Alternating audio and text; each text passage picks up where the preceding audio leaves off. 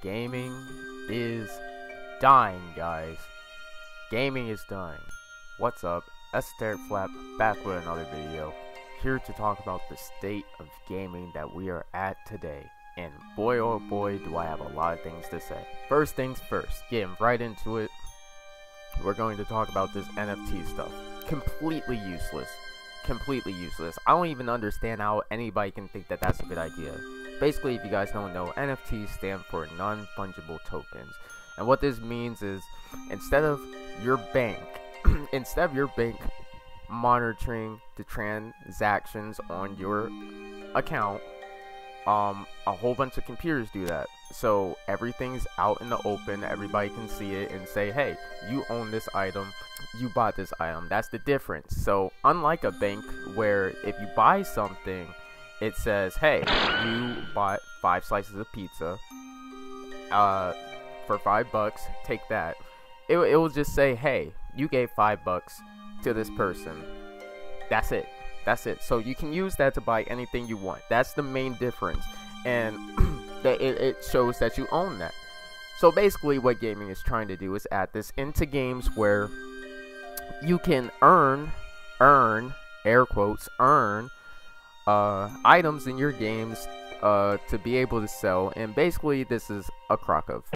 All it is is trying to sell the idea that hey you can earn money in these games when realistically you're not going to. So let's put it in this perspective. There's 10 items. Hey and and this DLC that we're releasing we're going to have 10 secret items that have NFTs in it and you could be the one that earns it now, think about that. People aren't going to be buying the DLC for the game, for for the extra content, whatever it is. They're going to be buying it for the NFTs. And what's going to end up happening is games are going to start having this market, not even just with NFT markets, they'll start having literal player markets in the game, controlling the economy of the game. Who wants that?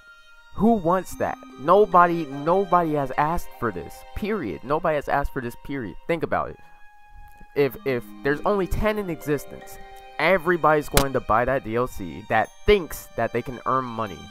Everybody's going to be wasting their time because they think they can earn the money. Let's say there's 20. Well, the cost of the first 10 is going to be more expensive. Let's say there's 30. The cost of the first 20 is going to be more expensive. If there's 100. The cost of the first 50 the lower the number is, the cost is going to go up because of the amount of money that you could make off these NFTs. Absolutely ridiculous. Nobody has asked, but and and you gotta ask yourself, how have we strayed so far from what gaming has, how, what gaming was? Before, when we played games, we used to buy the game. If it was bad, okay, fine, we don't support that company anymore. But if it was a good game, guess what? We got more good games. If it was a good game, guess what? We got more content in the next game. If it was a good game, guess what? We supported that company. We supported that company. Now, it doesn't matter if the game's good or not. We can finish it later. It doesn't matter if the game has whatever you need. They're going to add it later. Oh, what's that? You want them to add for free? No, we're going to add it as DLC. You're going to have to pay us to finish the game that should have been done off rip. D uh, think about that. Demon Slayer the game I enjoyed or tried to enjoy literally released with the worst netcode and doesn't even have skeletons in their models. As per this post for this mod, the new Shinobu mod, they said it's difficult for them to mod these characters because the characters have no skeletons. It's literally just an outer body. So everything that's animated they literally animated it frame by frame. It isn't it isn't because of some physics. It's literally frame by frame. That's how it, that's how it's being animated. Uh, think about that. There is no skeleton inside the characters. Like that's that's where we're at right now. That's where we're at. Like that game was rushed. That game was rushed out the door. And it and it should have been done this year instead of last year. The fact that online is as laggy and as broken when we have games from the past with full features from that same company are lacking, it like that's crazy. That's absolutely crazy, and it shows the state gaming's in. Battlefield 2042. I know a lot of y'all are, yeah. Put the put the pitchforks down. Put the pitchforks down. I'm I'm not here to support Battlefield, but look at what that game is. Basic features, basic things that should be in the game. Basic, like even the shooting, basic shooting is messed up in Battlefield. Shooting, you know the main thing you're doing in the game, shooting people the main thing you're doing, they messed up on it. They didn't care. They did not care. And, and, and this is this is the state that gaming is becoming. Battlefield 2042, Demon Slayer, NFTs coming in, like these big companies talking about how NFT is going to change gaming. It's not going to change gaming. What it's going to do is make gaming a job. That's all it's going to do. Because think about this. People buy games for NFTs more. What's going to end up happening? Oh, we're going to build the game around NFTs. And no matter what, they're still going to make the money that they put into those games because clearly the cost for making these games is going down. The money that they make, they're going to be getting tenfold back. Tenfold while you're making pennies in comparison. Pennies. Pennies in comparison. They they just uh, they think you're stupid. These companies think you're stupid, and, and, and it's not even about gaming anymore. It's just how can we earn the most amount of money. These aren't passion projects anymore. It's how can we rip these people off. This isn't gaming. These are not real games. These games that come out and they they say, oh, we'll fix it later with DLC. These games that come out and have lacking features. These games that should have spent more time in the oven and that clearly should have spent more time in the oven still comes out as a fu. They spit in your face constantly and still ask to give you money, to give them money. They spit in your face constantly. The main reason I wanted to show, make this video was to show the where gaming's at. I remember I remember buying Dragon Ball Budokai 3. Dragon Ball Budokai 3. It having all the characters I wanted. It having all the content I wanted. It having all the combat I wanted. It being improved upon from Budokai 1, Budokai 2. Even Tenkaichi 3 having upgraded features. Having upgraded combat. Feeling more fluid than Dragon Ball Tenkaichi 2 feeling more fluid than the first two games. Now we're getting into this into this age where if games come out, you can expect it to either be worse, the same, or just straight up garbage. Straight up garbage. Indie companies are the games that are that are making it, and people are, people are pirating these games. I, I'm I'm genuinely shocked. Hades got as much reception as it did. I am genuinely shocked because most decent indie games that I have played, they never get any traction.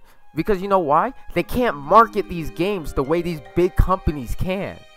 These big companies have the money, the resources, and the the smarts to to market their stuff to people that even that wouldn't be interested, that to people that would be interested, the people that wouldn't care or do care. They they get everybody. These indie companies only target games only target certain criterias, only target certain audiences. And yes, it, is is it good that th those indie companies get that certain that target audience they want? Yes, but what what we're seeing is that these indie companies are not receiving the praise that they should. The the most recent indie games that I have noticed out out of like the last two three years, I would say that like that comes up in recent memory, Celeste and Hades and The Binding of Isaac and Enter the Gungeon. And I feel like those, I feel like the Binding of Isaac and and Enter the Gungeon fail because of their lack of online. Now, uh, because nowadays people don't want to play games alone; they want to play games with their friends. But that that's a different discussion. This needs to stop. This needs to stop. All these games that are coming out purely to just spit in your face, to pry and take your money to get you to open your wallet and give them more money for things that should have been in the game. Oh, we're we're adding new features. We're adding different things. These are features that should have been there from the beginning. DLC coming out weeks, weeks, literal weeks after the game comes out. Features coming out literal weeks after the games come out. And people are sitting here accepting it. Guys, we we really we're we're approaching a dark age. I I cannot I can't even provide you a reason or a solution to stop this from happening other than just don't buy these games. But the, the issue with that is unless you have these old systems or you have a old or you have a PC that's able to run old games, it's nearly impossible to sit and compare old content to the recent content. It, it's becoming more and more impossible for that to happen. Uh, just look at the Sonic games. Sonic Generations, Sonic Unleashed, Sonic Colors, the only game that in recent memory that that is decent that they remastered and they even messed up on that remaster. Now granted, I'm not to say it was Sega's fault, but it also kind of was, but that's a different discussion. But the Sonic games, those 3 and even Sonic Adventure 2, Sonic Adventure, Sonic Heroes, all those Sonic games that that are solid Sonic games. Uh, they're refusing to just remaster it. They're refusing to remaster these these Sonic games. You want to know why? Because when you compare it to the most recent Sonic games, it just it fails. The recent Sonic games fail and it puts accountability on these companies saying, "Wow, people are buying these games more often than our recent games. We need to put more work in." Rather than trying to take more money from people, take items from people, just con people into basically buying our game. It's absolutely atrocious. Sonic is one of the best examples I can give.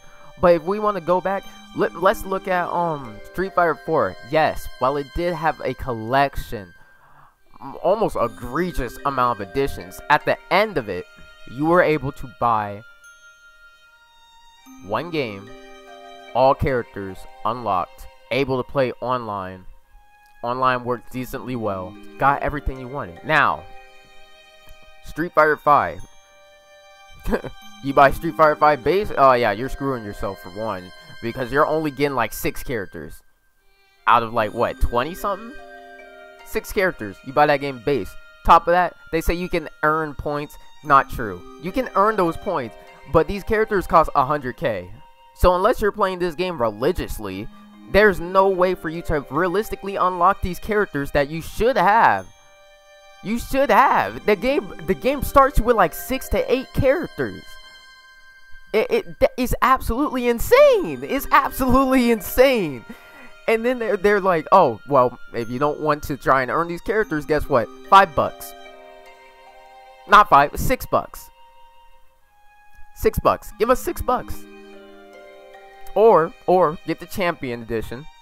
Or, or get season one. Or, or get season two. Like, uh, just look at that compared to Street Fighter 4 where you just bought the game, you would get all the characters, all the content, all the stuff, everything that game had to offer, no extra charge.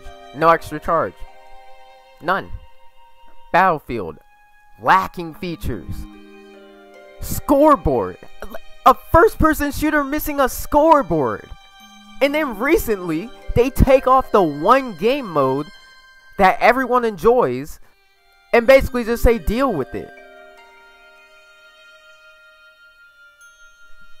They took off a game mode.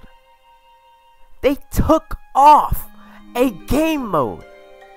They took off a game mode. Make that make sense. Make that make sense.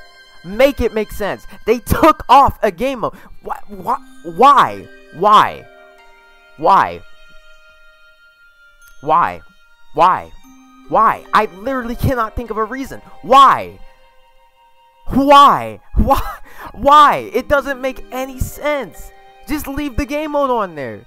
It, the same thing happened when I was playing Call of Duty Modern Warfare, the first remaster that they made, not the first one, like the most, the most um well played, the one with Warzone. I played that one's multiplayer, not the Warzone. That one's multiplayer. There was a there was a um dang, I forgot what map it was. I don't know if it was shipment or something else, but it was basically a 24/7 map. And I remember loving loving that map. That made me enjoy it because I like the run and gun play of Call of Duty.